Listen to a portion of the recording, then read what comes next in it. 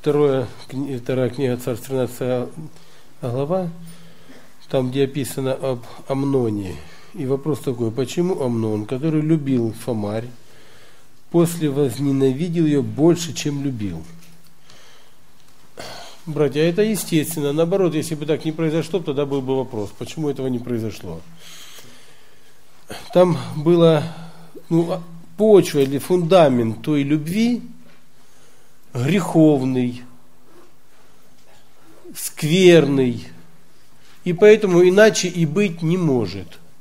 Когда фундамент закладывается чистый, тогда любовь, она возрастает. И трудности, которые встречают люди, ну, муж и жена, в этих трудностях любовь закаляется, вырабатывается и терпение, и долготерпение, потому что это качество любви. Любовь долготерпит. А если фундамент нечистый, как было у Амнона, он через несколько минут после того, как он думал, что сильно любит ее, уже сильно возненавидел. Какой здесь можно урок взять? Вот здесь у нас есть немало и братьев еще не женатых. Если фундамент любви вашей будете закладывать чистый, это надежно. Это не значит, что все хорошо будет в жизни. Но любовь ваша будет крепнуть и будет возрастать. А если вот такие вот бывают ну, мотивы для любви, познакомились по интернету, там, в Одноклассник или там в другой какой-нибудь там программе, ну да, или по мобильным сообщениям, то имейте в виду, ничего хорошего с той любви не будет. Потом она рушится все, потому что фундамент не тот положенный. И если начинается любовь с греховных каких-то проявлений, то будет как у Амнона. Сначала думал, что сильно люблю, а потом возненавидел еще больше, чем любил. В Евреям 11.21 Израиль поклонился на возглавие постели, здесь в Бытие, а в Евреям поклонился наверх жезла своего. Зачем Израиль поклонился на возглавие постели? Что это значит? Вот здесь перевод есть древнегреческое, он дает смысл яснее.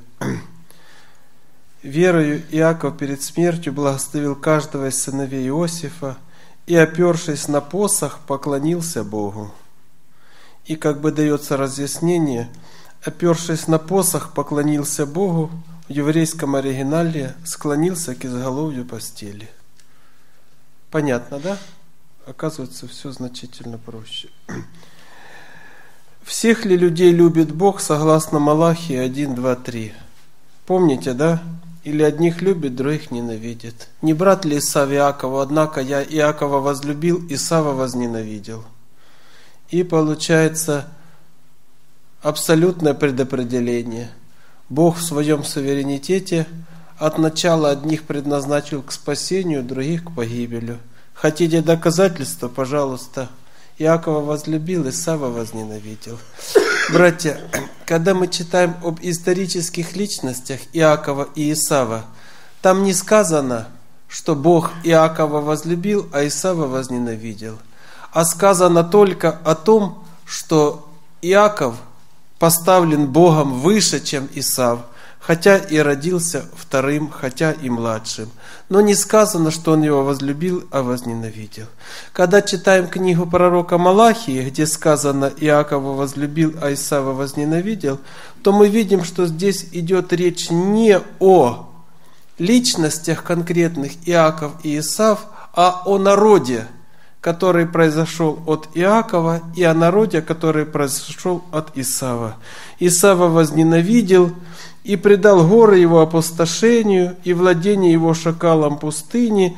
И за что дальше здесь он разъясняет, за что? За то, что Исав вероломно поступал против своего брата. То есть речь не идет о том, что возлюбил Иакова, а Исава возненавидел, а уже их потомков за их действия, которые они делали – тех возненавидел, а тех возлюбил. Понятно это, братья? Это важный момент. То есть то, что Малахия говорит Иаков и Сав, это не конкретные личности, а это уже идет речь о народах, которые избрали для себя определенный путь и определенный образ жизни. И еще сюда здесь поясните выражение «благодать на благодать». Это Иоанна, первая глава. «От полноты его все мы приняли, и благодать на благодать».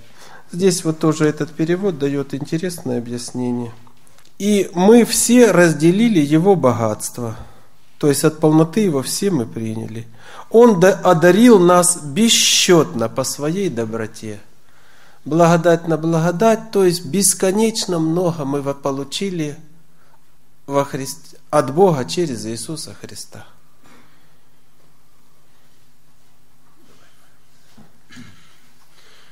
Братья, я сейчас записку не прочитаю, расскажу одну историю, а потом прочитаю записку. Когда судили Михаила Ивановича Хорева, я сейчас не помню, какой это год был, или какой срок его был, ну, это было, по-видимому, в начале движения, ну, пробуждения нашего братства, и на суде была мама его. И вот судья спрашивает у мамы, вы знаете, что ваш сын не последнюю скрипку играет в Совете Церквей? Она говорит, гражданин судья, о чем вы говорите? Мой Мишенька никогда на скрипке не играл. Он немножечко на домброчке только играл, и все. Ну, он в, в, в детстве на домброчке играл. Теперь я проч... а, вопрос такой. Скажите, здесь ну, есть что-нибудь в ее ответе, что не положено христианам так говорить, или нормально? Хотя она не глупая женщина, она поняла, о чем идет речь. Ну, на такой вопрос судье, ну что ты ответишь, да? Ну, она взяла Чай глупому по глупости. Теперь, теперь скажу вопрос. Уместен ли в христианской жизни юмор или нет? Уместно. Но есть уместный юмор, есть неуместный юмор. Есть недопустимый юмор – то есть, если юмор унижает кого-нибудь, такой юмор недопустимый. Если юмор несет в себе двусмыслицу, ну, нормальный смысл и второй смысл какой-нибудь скверный, этот юмор недопустимый в христианстве. А если чистый юмор, как бабушка это сюморила ему, да? Думаю, что нормальный, допустимо. Ну, вот так бы я ответил на этот вопрос.